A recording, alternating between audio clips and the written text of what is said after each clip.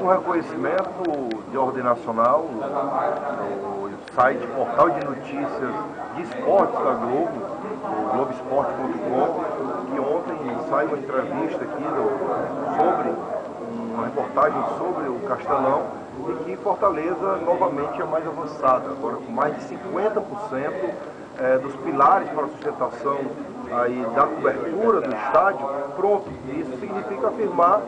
é, que nenhum estádio para a Copa do Mundo está sendo construído colocou um pilar sequer, pensando já em cobertura.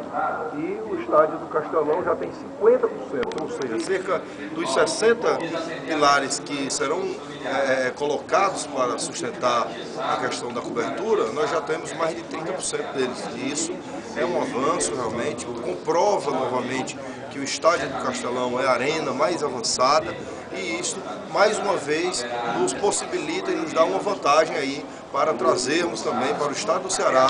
a questão do sorteio para a Copa do Mundo, o sorteio é, do evento que a gente espera aqui no nosso centro de eventos. Então, é, mais uma vez, a, a, a confirmação de que o estado do Ceará está na frente dos outros estados para a Copa do Mundo 2014.